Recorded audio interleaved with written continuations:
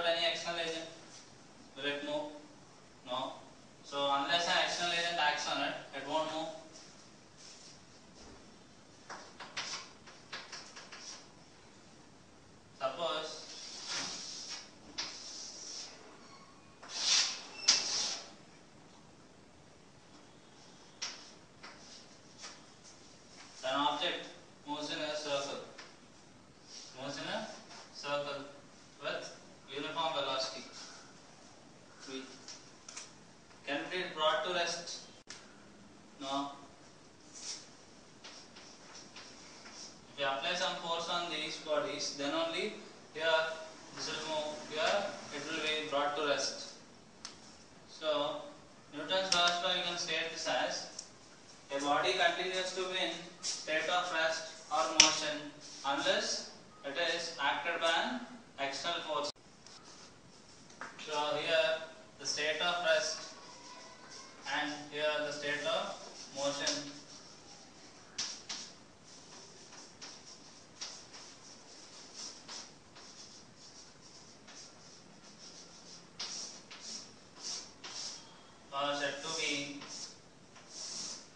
Gracias.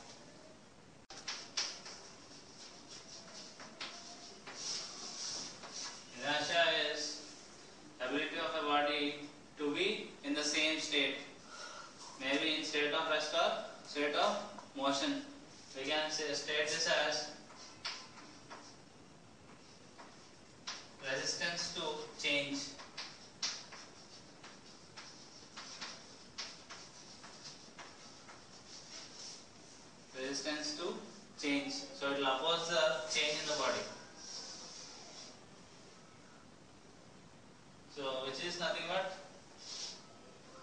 resolving to be in state of rest or in state of motion. Yes. Newton's second law states that rate of change of momentum of a body, rate of change in momentum of a body is directly proportional to force applied. Is directly proportional to same direction, and it is in the same direction in which the change is broad. So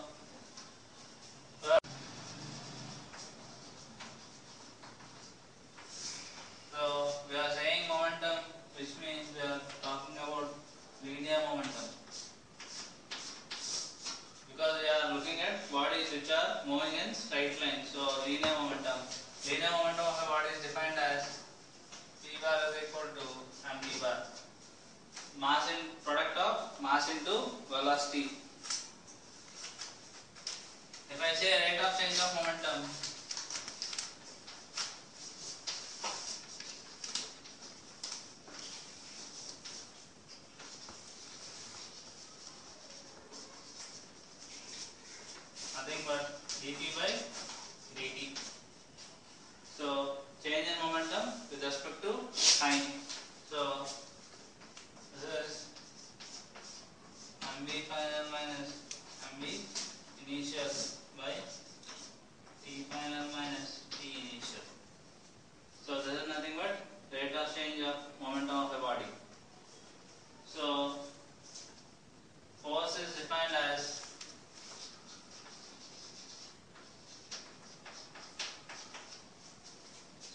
response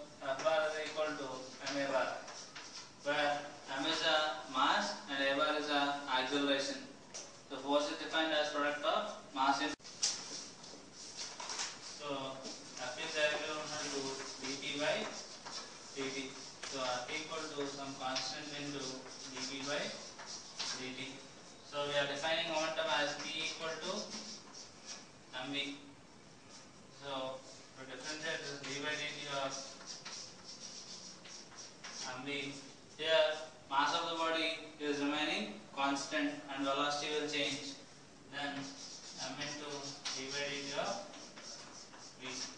So m into dv by dt.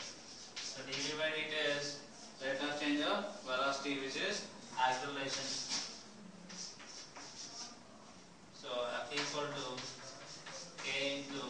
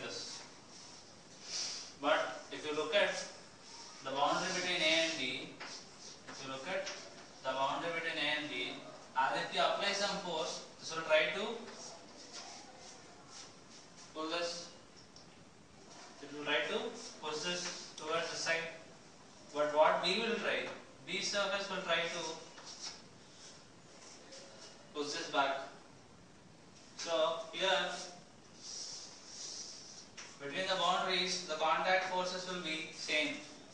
Because whatever reaction you are applying the same reaction will be acting in opposite direction. So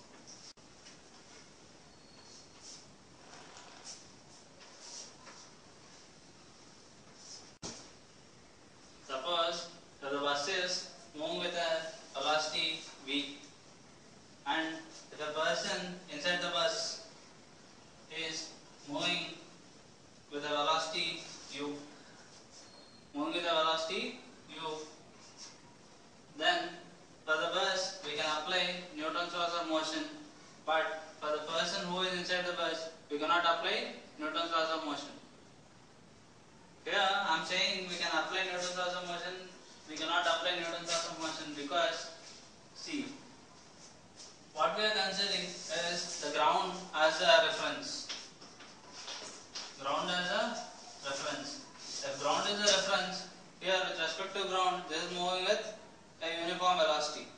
Here also with respect to the ground, this is moving with a uniform velocity or some acceleration. With respect to the ground, we can measure this part. For the bus, we can apply Newton's laws of motion. But for the person who is walking inside the bus with respect to the ground, we cannot apply Newton's laws of motion. But with respect to the bus, you can apply Newton's laws of motion respect to the bus, we can apply, but with respect to the ground, we cannot apply. Because the frame in which he is standing is also moving. Here only the frame is steady, the reference frame is steady and this is moving. Here the person is moving, the bus is moving and your frame is at rest.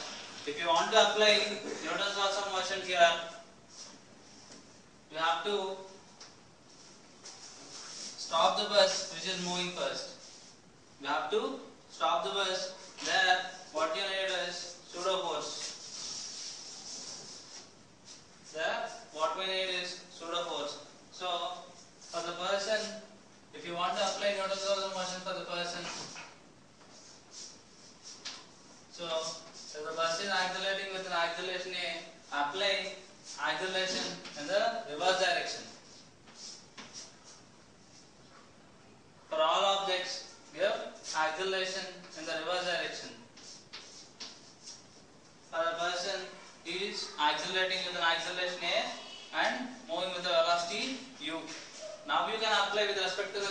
Newton's laws of motion.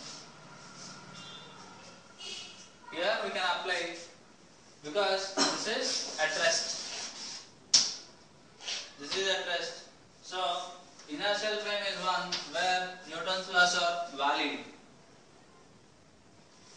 Non-inertial frame is where Newton's laws are not valid. So if you look at the motion of the person with respect to the ground directly here, Newton's laws are not valid.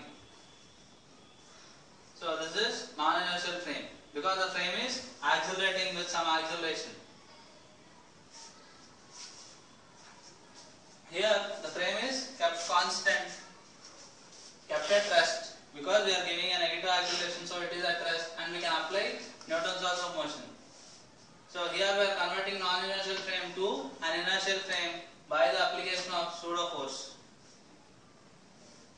So pseudo force is a force which we require to keep the body at rest so that we can use Newton's laws of motion. Suppose if a truck is moving with an acceleration A and a pendulum is suspended in it and it is tied to the upper end.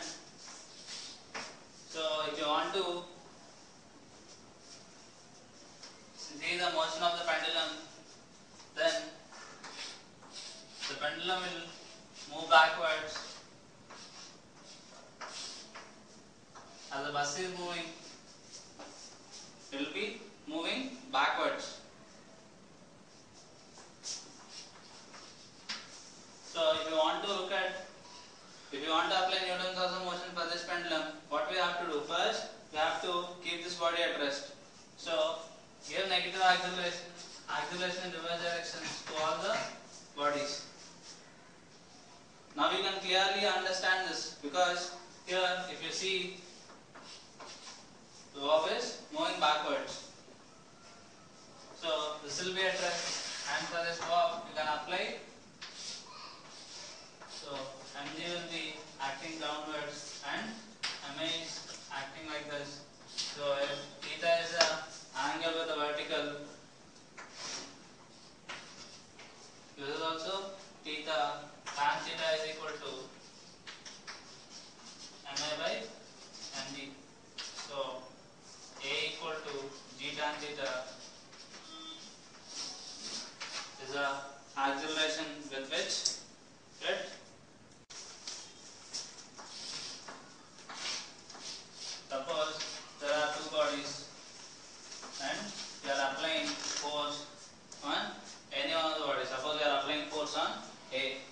So if you apply force on A, will the system will move towards right right side directly? Will it move directly towards right side? No, because we have to see how the surface is because the surface of contact will also come into picture here.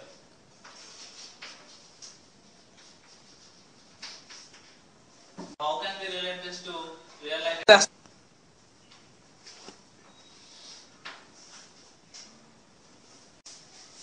So, if you drag a trolley bag on the platform in a railway station or if you drag the same trolley bag on a concrete road, will you feel any difference? The sound will have will hear will be different because it is due to obviously the contact surfaces the difference in contact surfaces. Here you are having smooth wheels and you are having a smooth surface, relatively smooth surface. But on concrete road you will have some difference between the two surfaces. That's why you will hear more sound compared to the sound which will come here. It will be easy to drag here. It will be a little. You have to apply more force to drag the bag here. If you apply force on these two blocks, so the blocks might not move initially. They might move, they might not move, but if you apply a force which can move both, both the blocks, if only if you know what is the force which is offered by this contact surface. So now we will come across a friction comes into picture. Friction comes into picture between the two surfaces. Between two overlapping surfaces or two surfaces in contact. If the surface is smooth, then generally we say mu will be 0. If mu is if mu is non-zero, then we'll say rough surface. So here friction will be present, here friction will be applied. On applying force, these two blocks will move together. So if you want to find acceleration of the system F equal to ma plus mb into a F equal to ma plus mb into a so a is equal to f by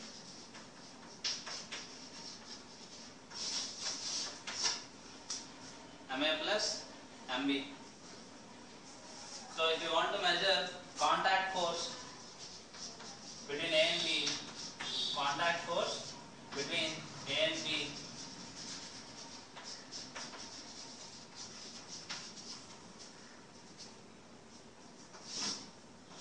you have to take the blocks A and B separately. A force F is applied on this and there is a contact force F BA on this and it is moving towards right with an acceleration A. This is also moving with an acceleration A and you are applying a force FAB on this. FAB and FB are same. So if you write equations F minus FBA is equal to M A into A and if you write FAB is equal to MB into A. If you simplify this first equation FBA is equal to F minus MA into A M minus ma into acceleration will be f by ma plus mb. If we simplify this, it will be mb into f by ma plus but f by ma plus mb will be acceleration which is equal to mb into X. So if you see these two equations, you can clearly say the contact force between surfaces will be the same whatever force you are applying, this A applies on B is equal to the force applied by B on A. So both should be, in magnitude both of them are equal.